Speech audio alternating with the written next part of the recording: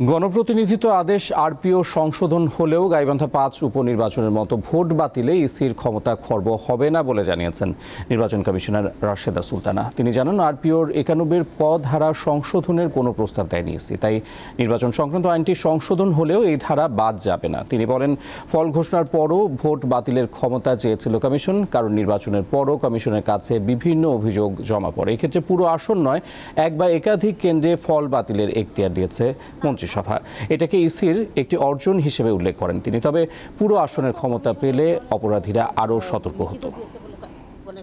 দিতে হবে সেটা গাইবান্ধায় আমরা যখন সিসি ক্যামেরায় ভোট গ্রহণের চিত্রটা দেখছিলাম, তখন আমরা দেখেছি যে ওইখানে নানান ধরনের মানে অনিয়ম হচ্ছে। এই এই চিত্রটা যখন আমরা দেখেছি, তখন কিন্তু আমরা নাইনটি ওয়ান এ এই পাওয়ার বলে কিন্তু আমরা ইলেকশন কমিশন সেই ক্ষমতা আছে, আমরা সেটা স্টপ করেছি। আমরা তো ওই নাইনটি ওয়ান এটা কিন্তু আমরা সংশোধনীতে পাঠাই নাই। ওটা প্রস্তাবনাই যায় নাই। তো যেটা প্রস্তাবনা যায় নাই, সেটা তো স্টপ হওয়ার কোনো মানে কারণ আছে বলে আমার মনে হচ্ছে না।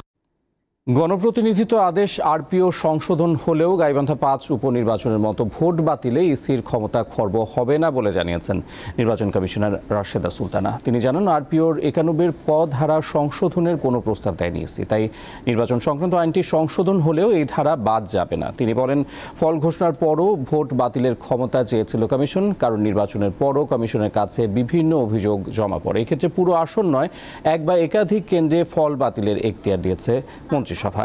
এটাকে ইসির একটি অর্জন হিসেবে উল্লেখ করেন তিনি। তবে পুরো আসনের ক্ষমতা পেলে অপরাধীরা আরও সতর্ক হতো।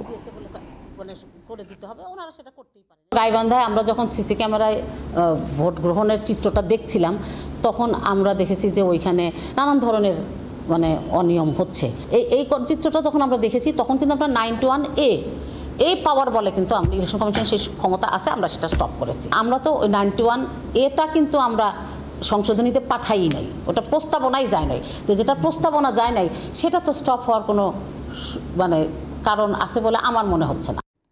গণপ্রতিনিধিত্ব আদেশ আরপিও সংশোধন হলেও গাইবান্ধা পাঁচ উপনির্বাচনের মতো ভোট বাতিলে ইসির ক্ষমতা খর্ব হবে না বলে জানিয়েছেন নির্বাচন কমিশনার রাশেদা সুলতানা। তিনি জানান, আরপিওর একানব্বের পদ ধারা সংশোধনের কোনো প্রস্তাব দেয়নি ইসি। তাই নির্বাচন সংক্রান্ত আইনটি সংশোধন হলেও এই ধারা বাদ যাবে না। তিনি বলেন, ফল ঘোষণার পরও ভোট বাতিলের ক্ষমতা চেয়েছিল কমিশন, কারণ নির্বাচনের পরও কমিশনের কাছে বিভিন্ন অভিযোগ জমা পড়ে। এক্ষেত্রে পুরো আসন নয়, এক বা একাধিক কেন্দ্রে ফল বাতিলের এখতিয়ার দিয়েছে মন্ত্রিসভা এটাকে ইসির একটি অর্জন হিসেবে উল্লেখ করেন তিনি। তবে পুরো আসনের ক্ষমতা পেলে অপরাধীরা আরও সতর্ক হতো।